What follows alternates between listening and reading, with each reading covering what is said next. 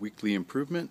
Uh, we're going to be taking another cube here in Laverne, one of the extra cubes that everyone's used as a uh, as a storage for miscellaneous drawings, um, computer parts, printers, some files, all kinds of miscellaneous things. So we're going to 5S this space and uh, see if we can't make it a lot more usable. So we'll be back to you. All right, we're back. As you can see, we've uh,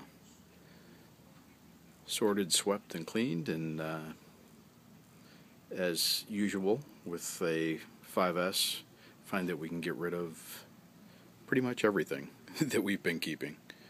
Uh, this is the last cube in the Laverne office that needed to be cleaned out, so I think we're done with that as far as empty cubes.